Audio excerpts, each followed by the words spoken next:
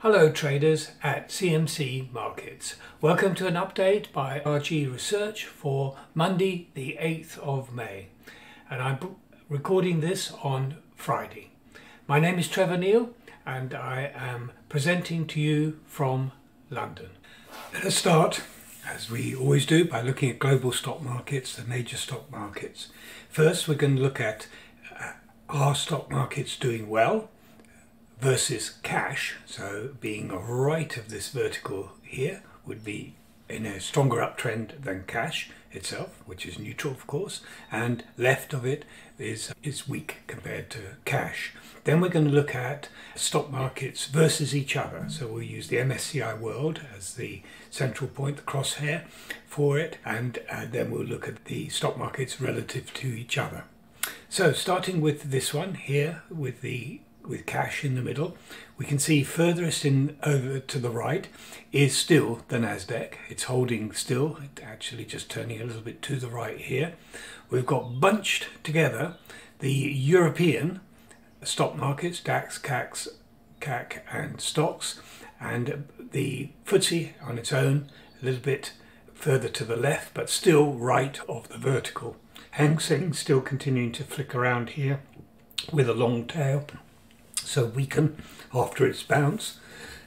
but interestingly, the Russell 2000, the broad market US market index, is right over here in the lagging quadrant. So we're right if we are concentrating on NASDAQ stocks, but we're going to break that down a little bit in a moment. Now in this chart, the crosshair is the MSCI World Index. So if you like, an index of all the major stock markets, and then these are the major stock markets.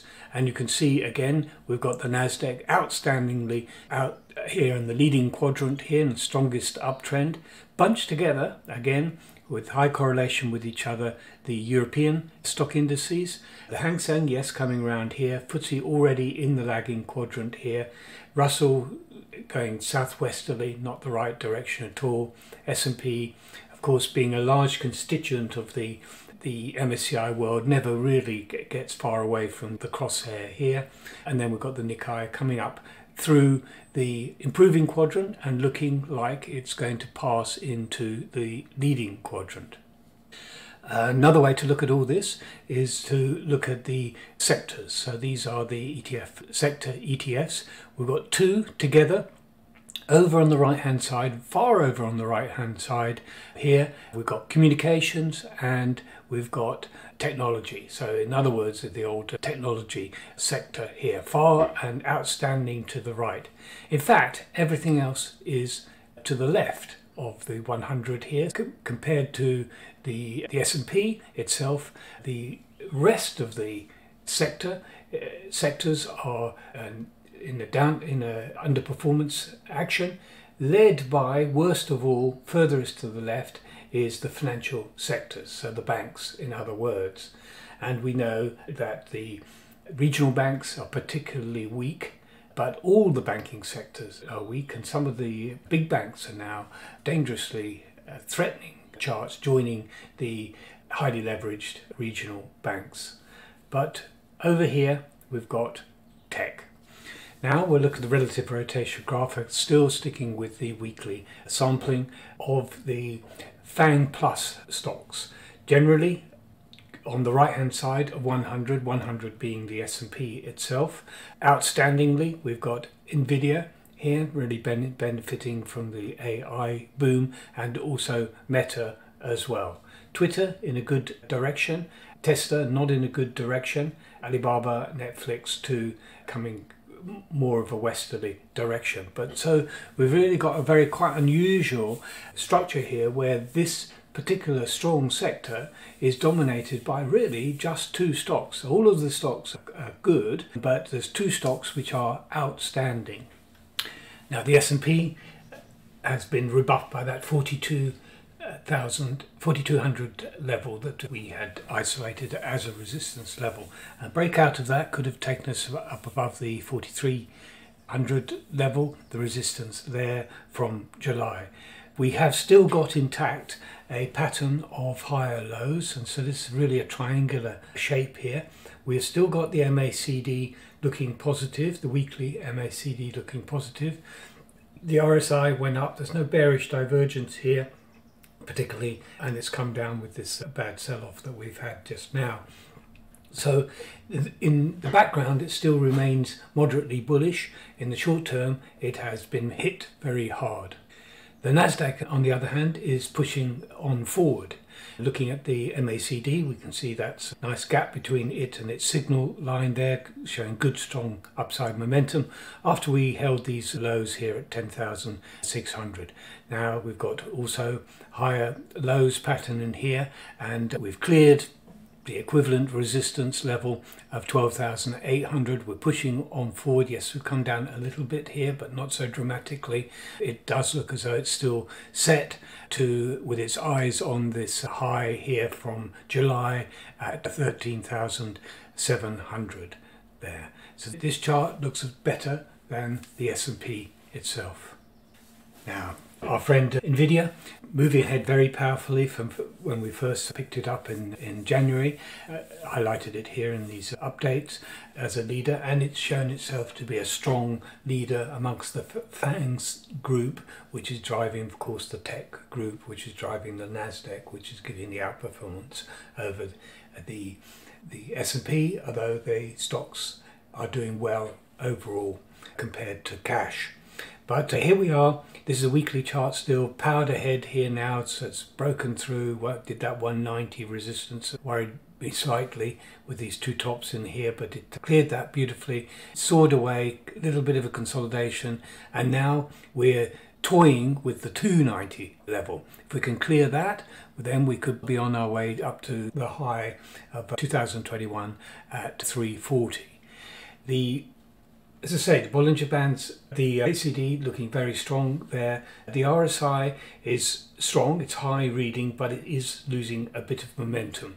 So the pattern is weakening slightly. The good momentum from the MACD is being countered by uh, signs of the shorter term message of the RSI, which is declining very slightly. Now there's a daily chart of NVIDIA and here we saw that resistance that break to the 290 level pull back now into the consolidation zone and below the break point at 281 282 the in indicators here the MACD has come down. It's below its signal line. And the RSI is is down at 50 percent having come down from this higher reading here. So what we've got is a picture of struggle. It made the impulsive break but was rebuffed very easily by the resistance at 290 and at the moment it's holding. The background story, as I've just said, looking at the weekly chart, is that it is still bullish but it's stalling a bit and likely to have some trouble to break through that 290 level. Now there's a weekly chart of that other stock which was doing so well in the the Fang Plus RRG chart, also kicking off in, in January, having broken its downtrend line. Powering up really strongly is Meta. Now Meta is now testing its latest resistance level, and that is here at 236, 240 really. So it's broken through it, and then we'll just look at the daily chart in a second, but and pull back a little bit to it. But look above it here. The fall here was very dramatic, very fast. This means that there's very little resistance if we're passing through it on going up through it. So from here up to about 305, from 240 to 305, we've got a rather frictionless area in the chart if it can make this break. It is very has come up a lot already, but is it possible that this could even accelerate more in the next phase. The weekly MACD says yes. It says it's it's very bullish. It's above its signal line, and it's also the gap is strong there. On the RSI, we're holding up very well here. It's not a bearish divergence, but it, it's it's not pushing further forward from this high to this high here. So it's it's very strong, but extended, I suppose, is the correct way to put it.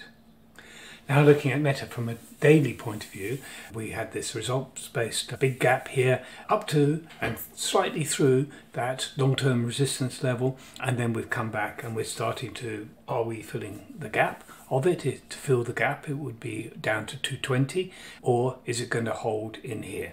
Now gap theory, the market has a natural tendency to want to fill gaps. We had the gap here the last time and then it wanted to fill it and drifted back into it, only got halfway through it and then went up. That's bullish. So the rules are the less of the gap that's filled, right to the point of filling the gap, which is at 220, the outcome is bullish, but the less that's, so if it doesn't even attempt to fill the gap, that's extremely bullish. But if you do fill the gap, then it's very often a strong signal that essentially the initial interpretation was a mistake and the market will reverse sharply. So we're at the very beginning of that moment now. That these big gaps can be very helpful. So any steadiness from here is bullish. Even from a lower level, it's bullish, down to the point of 220. Below 220, it's no longer bullish. So I would suggest that the traders might use this information. Look at the behavior next week. Look at it after non-farm payrolls. See how it's behaving. But any sign of steadiness, having not completely filled the gap, is a bullish sign and we can extend further. The MACD is holding up. We're, we're still positive in that. And the daily uh, RSI has come down with the price action here from undoing the excessive readings and any reading below 50% in such a strong uptrend is likely to indicate that we can stabilize and, and move on up again. Let's see, this is a strong market, it's difficult to buy into a strong market, but as we saw in the weekly chart, we are at a very important point where any steadiness, any break of the high, but even before that, with the gap fill action, uh, the breaking the high of 245 would confirm it to us, but we sh should be able to um, operate a little bit better than that using the gap it itself.